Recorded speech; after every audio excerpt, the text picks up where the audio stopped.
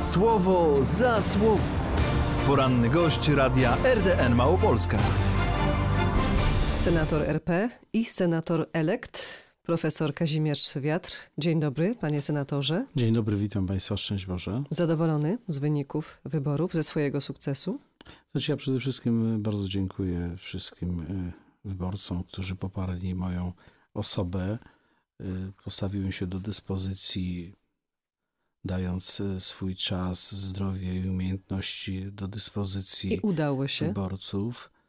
Y, Ja traktuję to jako zadanie, tak? To znaczy, z jednej strony y, bardzo dziękuję i szanuję, i, i dziękuję i wyborcom, i tym, którzy jakoś byli bardziej zaangażowani, żeby, żeby wspierać, czy, czy namawiali sąsiadów, czy w jakiś inny sposób przekonywali, bo zawsze jest tak, że te osoby, z którymi udało się osobiście spotkać i porozmawiać, czy w ostatnim czasie, czy, czy, czy dużo wcześniej, y, jeszcze wspominając y, bardzo mile czasy z Tarnowskiego Tamelu, ale przecież wiemy i Tarnowskie Towarzystwo Naukowe i wiele innych aktywności, y, więc to wszystko powodowało, że no najlepszy jest właśnie obraz osoby w, w takim prawdziwym działaniu, prawda? Że, że, że, że to jest y, ktoś, kto co, coś rzeczywiście robi i, i ma y, przede wszystkim dobrą wolę, ma ten imperatyw y, służenia, służenia innym, ale też i ja muszę powiedzieć, że takie, taka myśl, którą często kieruję do ludzi młodych, to to, że,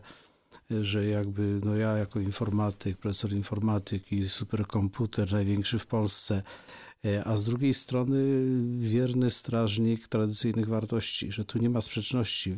Się, że jest takie powierzchowne spojrzenie, że mamy już XXI wiek, że społeczeństwo informacyjne i gospodarki opartej na wiedzy no i że te wartości to dla dziadków, pradziadków były dobre, prawda? Podczas kiedy rzeczywiście e, to wszystko jest jak najbardziej aktualne i te, e, te postawy pierwszych chrześcijan, takiej otwartości, miłości bliźniego i, i jakiejś życzliwości, e, te atrybuty człowieczeństwa. I ja muszę powiedzieć, że to, że to, z czym się dzisiaj spotykamy, takie hasło LGBT najbardziej może kontrowersyjne i dzielące, ale tak naprawdę ono ma chyba takie dwa wymiary.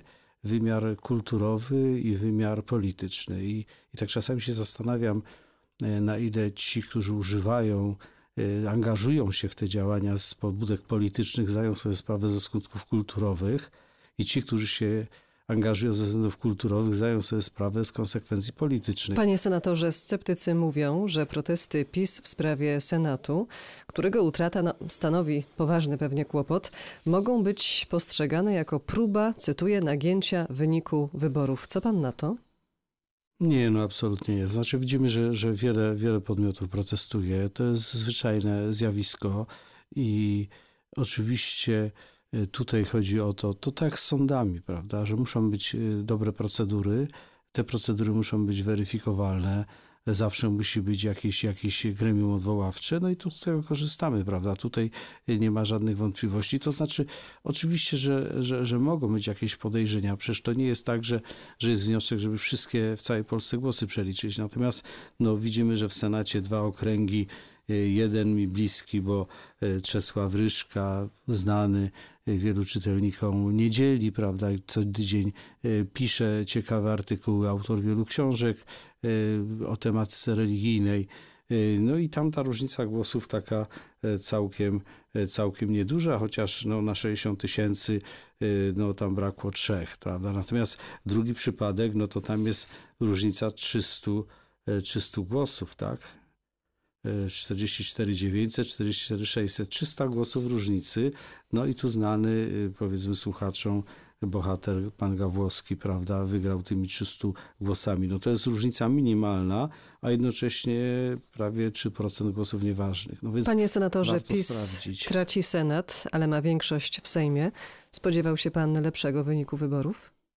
To znaczy, słowo, że traci Senat, no to jest na razie jeszcze takie nie do końca uprawnione, ponieważ wiemy, że liczba senatorów PiSu jest y, największą liczbą, jeśli popatrzymy na przyszły klub senatorów Prawa i Sprawiedliwości. Powstaje pytanie, jak zachowają się pozostałe osoby jak, jak tutaj zostanie wyłoniony marszałek Senatu.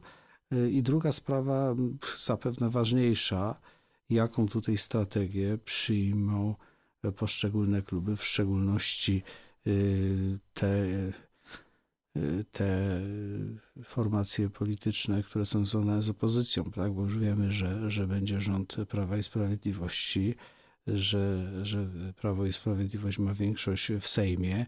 No, jakoś Senat jest skoordynowany z, z, z, Sejmem, więc tutaj ta strona opozycyjna, no jaką przyjmie postawę? Czy to będzie dalej głównym punktem programu antypis, czy też będą jakieś inne przesłanki e, bardziej, bardziej twórcze? E, No i to, to, to jest chyba ważne. Konfederacja jest partnerem do współpracy dla PiSu? No akurat w Senacie nie ma, więc, więc Ale w ogóle? Akurat trudno powiedzieć. To znaczy, ja muszę powiedzieć tak, że kiedy, kiedy formowała się Konfederacja, no to ona skupiła tyle sprzecznych, że tak powiem, wątków y, programowych, już nie chcę powiedzieć ideowych, ale programowych, osób, które znamy z tak różnych sytuacji, że to rzeczywiście można się było bardzo dziwić jak. Z drugiej strony trzeba powiedzieć, że ten radykalizm e, no, jest taki trudny. To znaczy, muszę powiedzieć, że był okres, kiedy posądzano ten radykalizm Prawo i Sprawiedliwość. Prawo i Sprawiedliwość przez te cztery lata starało się e, te swoje najwyższe zadania czy wartości wdrażać w sposób pragmatyczny, bo nawracanie siłą nie, nie ma wartości, prawda? Dlatego tutaj pokazywano te wartości w działaniu, promowano je na różne inne sposoby y, i to jest, i to jest cenne. Natomiast tutaj są pewne radykalne poglądy i oczywiście y, być może z wieloma z nich y, warto się zgodzić. Natomiast zawsze pozostaje pytanie, jak to wprowadzić. I tu myślę, jest różnica dość zasadnicza, i to będzie y, dla, dla Prawa i Sprawiedliwości poważne wyzwanie, bo łatwo jest wzniecać y, piękne hasła, skrajnie radykalne, ale jeżeli one są nierealizowalne, bądź też y, Powodują opór społeczny zbyt tak, duży? jakiejś dużej części, tak? Bo, bo my też musimy szanować, bo to nie jest tak, że przez 3-4 lata Prawo i Sprawiedliwość nie szanowało poglądów opozycji, czy osób, które e, były e, jakby emocjonalnie zaangażowane Miały po stronie inne zdanie? opozycji. Tym bardziej, że ja muszę powiedzieć, że tu jest e, takie mylące podejście, ponieważ jest osoba, która z Prawem i Sprawiedliwością zgadza się w trzech ważnych sprawach, a w jednej ważnej się nie zgadza. I ona mówi o tym jednym, z którym się nie zgadza i wszyscy myślą, że ona się nie zgadza z PiSem, podczas kiedy tak naprawdę ona się w trzech czwartych zgadza z PiSem. Więc tutaj te e, klasyfikacje takie uproszczone mogą być nie, nieuprawnione. Oczywiście e, to, to, to, to takie refleksje, muszę powiedzieć, e, też i powyborcze, bo ten moment głosowania, każdy podejmował tą decyzję w lokalu wyborczym. Byli tacy, którzy mieli od dawna ten pogląd ugruntowany, byli tacy, dla których był to pewne jakieś też emocje ostatnich dni zadziałały i tak zdecydowali. Oczywiście e, demokracja, szanujemy te, te, te wszystkie poglądy, dziękujemy za wszystkich, którzy głosowali na Prawo i Sprawiedliwość. E, Nie tylko dlatego, że ja się utożsamiam e, z tą formacją, ale ze względu na ten program, na to, co się udało zrobić. Panie jednak- senatorze, kto wicemarszałkiem Małopolski za Annę Pieczarkę? Marta Mordarska, Wojciech Skruch, czy były europoseł Edward Czesek? Może ktoś inny? Naprawdę nie wiem tego i, i muszę powiedzieć, że trudno mi, trudno mi spekulować. Y, y, Wiemy, że tutaj są różne przesłanki i która z nich będzie miała największą wagę. To zazwyczaj tak jest, że decyzje są podejmowane wielokryterialnie, każde kryterium ma, ma inną wagę, a co ważniejsze, te wagi zmieniają się w czasie i, i, i efekt jest. A e, kto ma największe szanse? Nie mam pojęcia, naprawdę trudno mi powiedzieć. Coś zacytuję i poproszę o komentarz do tego właśnie cytatu. Ataki na Beatę Szydło i jej najbliższych są haniebne i absolutnie niedopuszczalne. Rodzina jest i pozostanie w Polsce świętością. Dlatego wykorzystywanie jej do walki politycznej budzi odrazę. Wierzę, że autorzy tych fake newsów i manipulacji poniosą konsekwencje. Tak napisał premier na Twitterze. Odnosi się do spekulacji na temat życia osobistego syna Beaty Szydło, księdza Tymoteusza. Zna pan temat? Słyszałem bardzo ogólnie, natomiast rzeczywiście jest tak, że poziom kultury radykalnie spada i ja muszę powiedzieć, że kiedy pozwoliłem sobie tu na jedno zdanie o LGBT, to myślę, że to jest jeden z takich przejawów, tak, że ci, którzy to robią, może nie wszyscy w jednakowym stopniu sobie zdają sprawę, jak obniża się kultura e, społeczna i osobista. I, i, i oczywiście, że e, technologie IT czy ICT, prawda, temu sprzyjają, że e, osoby anonimowe piszą pewne rzeczy, a potem jakby następuje już jakaś taka społeczna akceptacja obniżenia tego poziomu. Ja muszę powiedzieć, że kiedy rozmawiamy chociażby o LGBT, używamy różnych sformułowań, prawda? Co czterolatką się proponuje, nazywając te rzeczy po imieniu. I ja sobie myślę, no przecież cztery lata temu mnie te słowa by publicznie przez usta nie przeszły. A dzisiaj wiele osób y, bardzo subtelnych y, w wyrażaniu swoich myśli wypowiada te słowa, no bo już jest y, taki poziom dyskusji, prawda? Więc myślę, że dbałość o kulturę osobistą to jest olbrzymia rola szkoły w tej chwili. Ja muszę powiedzieć, że, że, że szkoła, która uczyła, szkoła, która wychowuje, ale myślę, że budzenie, budowanie wrażliwości na dobro, na piękno, na prawdę, na wartości religijne czy duchowe, y, no i także na jakąś kulturę. No przecież y, ja pamiętam, jak Jan Paweł II mówił, kultura to jest wszystko to, co powoduje, że człowiek staje się bardziej człowiekiem.